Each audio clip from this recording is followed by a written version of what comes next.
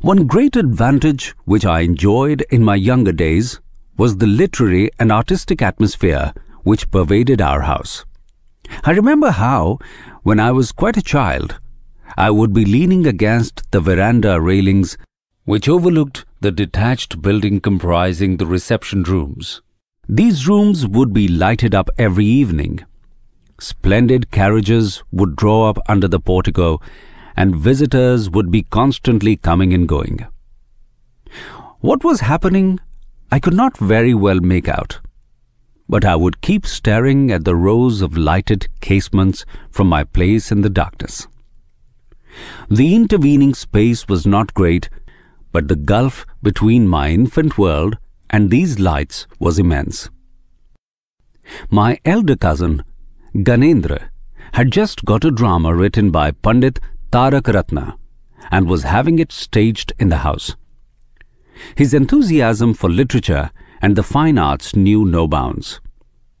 He was the center of the group, who seemed to have been almost consciously striving to bring about from every side the renaissance which we see today. A pronounced nationalism in dress, literature, music, art and drama had awakened in and around him.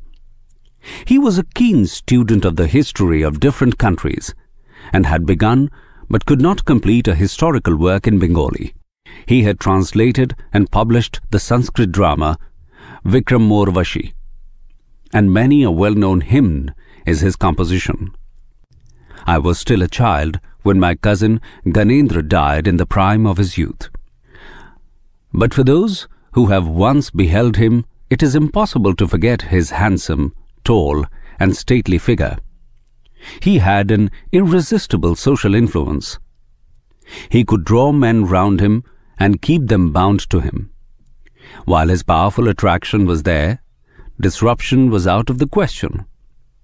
He was one of those, a type peculiar to our country, who, by their personal magnetism, easily established themselves in the center of their family or village. I remember still better his younger brother, my cousin Gunendra. He likewise kept the house filled with his personality. His large, gracious heart embraced alike relatives, friends, guests, and dependents. Whether in his broad south veranda, or on the lawn by the fountain, or at the tank edge on the fishing platform, he presided over self-invited gatherings, like hospitality incarnate. His wide appreciation of art and talent kept him constantly radiant with enthusiasm.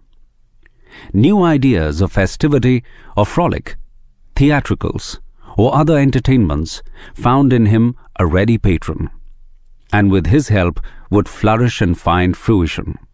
We were too young then to take any part in these doings, but the waves of merriment and life to which they gave rise came and beat at the doors of our curiosity. I remember how a burlesque composed by my eldest brother was once being rehearsed in my cousin's big drawing room. From our place, against the veranda railings of our house, we could hear, through the open windows opposite, roars of laughter mixed with the strains of a comic song. We could not gather exactly what the song was about, but lived in hopes of being able to find that out sometime. I recall how a trifling circumstance earned for me the special regard of cousin Gunendra. Never had I got a prize at school, except once for good conduct. Of the three of us, my nephew Satya was the best at his lessons. He once did well at some examination and was awarded a prize. As we came home, I jumped off the carriage to give the great news to my cousin, who was in the garden. Satya has got a prize! I shouted as I ran to him. He drew me to his knees with a smile. And have you not got a prize? he asked. No, said I. Not I. It's Satya. My genuine pleasure at Satya's success seemed to touch my cousin particularly. He turned to his friends and remarked on it as a very creditable trait. I well remember how mystified I felt at this, for I had not thought of my feelings in that light.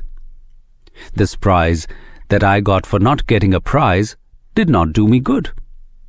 There is no harm in making gifts to children, but they should not be rewards. It is not healthy for youngsters to be made self-conscious. After the midday meal, cousin Gunendra would attend the estate offices in our part of the house. The office room of our elders was a sort of club where laughter and conversation were freely mixed with matters of business.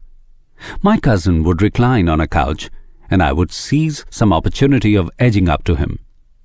Some days, cousin Gunendra would not be allowed to remain in any doubt as to the contents of my pocket. At the least encouragement, out would come my manuscript book, unabashed. I need hardly state that my cousin was not a severe critic. In point of fact, the opinions he expressed would have done splendidly as advertisements. Nonetheless, when in any of my poetry my childishness became too obtrusive, he could not restrain his hearty ha ha. One day it was a poem on Mother India, and as at the end of one line the only rhyme I could think of meant a cart. I had to drag in that cart in spite of there not being the vestige of a road by which it could reasonably arrive. The insistent claims of rhyme would not hear of any excuses mere reason had to offer. The storm of laughter with which cousin Gunendra greeted it blew away the cart back over the same impossible path it had come by, and it has not been heard of since. My eldest brother was then busy with his masterpiece, The Dream Journey. His cushioned seat placed in the south veranda, a low desk before him. Cousin Gunendra would come and sit there for a time every morning. His immense capacity for enjoyment, like the breezes of spring, helped poetry to sprout.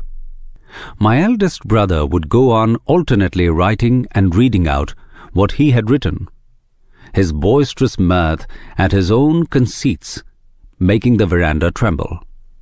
My brother wrote a great deal more than he finally used in his finished work. So fertile was his poetic inspiration. Eavesdropping at doors and peeping round corners, we used to get our full share of this feast of poetry, so plentiful was it, with so much to spare.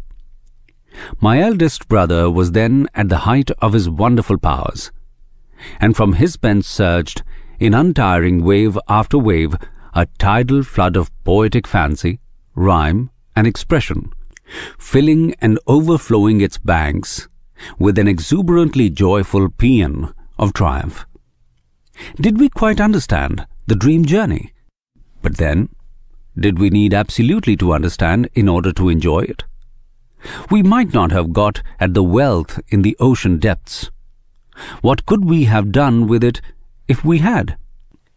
But we revelled in the delights of the waves on the shore, and how gaily, at their buffetings, did our life-blood course through every vein and artery. The more I thought of that period, the more I realize that we have no longer the thing called a majlis. In our boyhood, we beheld the dying rays of that intimate sociability which was characteristic of the last generation. Neighborly feelings were then so strong that the majlis was a necessity, and those who could contribute to its amenities were in great request.